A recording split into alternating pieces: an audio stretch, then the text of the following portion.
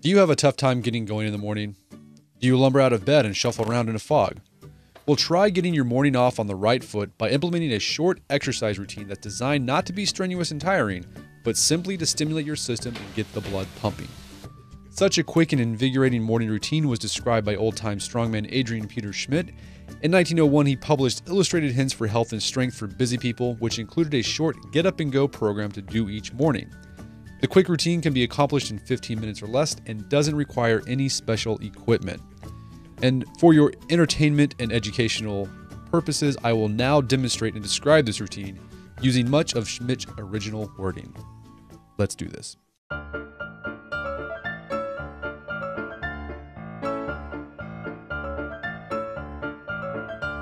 To stimulate energy, this exercise is a simple and rather ingenious plan to stimulate energy in a mild way on mornings when you do not feel inclined to exert your strength. Take in each hand a corner of an ordinary sheet of newspaper and crumple it up until the four corners are brought into the palm of your hands, forming paper balls. Avoid assisting in the process by pressing the hands against the body. Completely hide the sheets in your hands. Practice this form 1 to 2 minutes, beginning slowly and gradually increasing in speed. Exercise 2 for a powerful grip. Increase your grip strength by grasping these paper balls as tightly as you can and then releasing the grip without opening the fingers entirely. Repeat about 75 times in a minute. You can also carry these balls in your pockets during the day and exercise your grip on the go. For strong shoulders, stand erect in a comfortable natural position, bringing the outstretched arms sideways with fists clenched, knuckles upward, elbows straight on a horizontal line with the shoulders. Rotate your arms, making your fist travel in circles for about 7 to 10 inches in diameter, spending most of the energy on the half circle that moves towards the front of the body. For a variation on this exercise, bend the trunk of your body forwards. Keep your arms the same as in the previous exercise, now with your knuckles pointing downwards. For convenience, bring one leg forward, bending the knee as much as is comfortable. Reverse the rotation of your arms.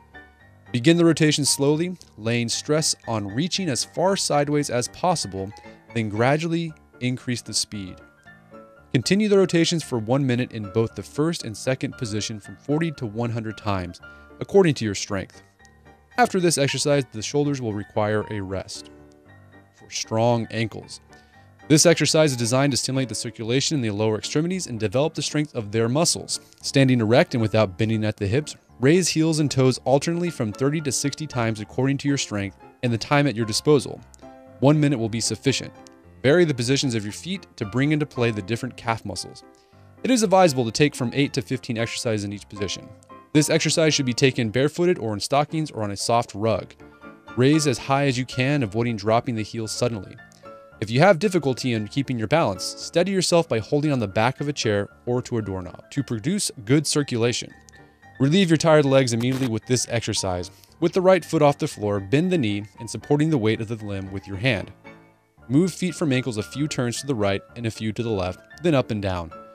Do the same with the left foot. If your time is limited, operate both feet at the same time by sitting on a chair, bed, or lounge. For strong lungs and chest. To cleanse the lungs of all impurities that may have accumulated during the night and increase the blood circulation, take two or three deep breaths, entirely emptying the lungs and then filling them to their fullest capacity. Standing erect, reach upward, keeping elbows and knees straight, fists clenched or fingers out. Stretched out as you please and feet comfortably apart, say about the width of your shoulders. Move up and down repeatedly in a rather slow rhythm. Lift chin up when in erect position, avoid leaning backward. Inhale slowly and through the nose until the lungs are completely filled. Elevate the shoulders as high as you can and draw the abdominal walls inward. Then release abdominal walls and bring the body into position B, exhaling through the nose or mouth as you please, bending the knees, bringing the armpits close to the knees or touching them if you are able to do so Repeat about 15 times, which will require about one minute. Abdominal crunch. This exercise is practiced lying on the floor on some soft, yielding foot firm surface. A rug folded lengthwise in a comfortable bed will do. Bring the body from the floor to your knees by throwing your outstretched arms with an energetic semicircle forward motion towards your feet or knees, following with the head and shoulders. Avoid holding your breath as you sit up, but expel the air from your lungs by exclaiming, Whew! This assists as it brings the abdominal muscles into play. Avoid relaxing the muscles suddenly when returning to the floor as the jarring which results is unpleasant and not beneficial. Back muscles and spine. As the reverse the last exercise, lay on your abdomen with the legs in a comfortable position, chin or forehead resting on the folded arms. Consecutively raise elbows, head, and chest together without the chin or forehead leaving the arms during the exercise from 2 to 9 inches according to your ability. Raise yourself up with a spring like motion, not stopping completely on the floor. Avoid striking the floor with the elbows. You want to put the energy in the rising motion. Natural massage exercise for exhilaration. With this exercise, you move like a rocking chair, the spine being the rocker. The body is doubled up, and this attitude is kept throughout the massage exercise. Start this exercise by sitting down, clasping the hands below the knees, and roll backwards until the tops of your shoulders rest on the floor and the bottoms of your feet are facing the ceiling. Without stopping there or unclasping your hands or changing the convex curve of your spine, roll back to the sitting position. Repeat two or three minutes, taking an occasional rest so that your breathing may become normal. Don't hold your breath, but breathe as naturally as possible. Routine finale the bath. That the tonic effect of a cold bath upon the nervous system may be fully obtained, it should always be preceded by sufficient exercise to put the body in a glow. But do not take your bath until you breathe naturally and the heart has resumed its normal action. It should be taken in such a manner as to wet the body all over, beginning with the head, then shoulders, chest, back, and limbs, requiring only from 2 to 6 seconds. I wish to emphasize the benefit derived from thoroughly wrapping up the body after the cold water application. It hastens the reaction and makes it uniform as it checks the loss of heat all over the body at the same time.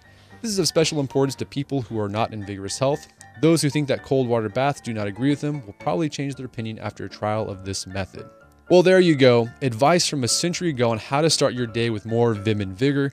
Go give it a try. Until next time, this is Brett McKay telling you to stay manly.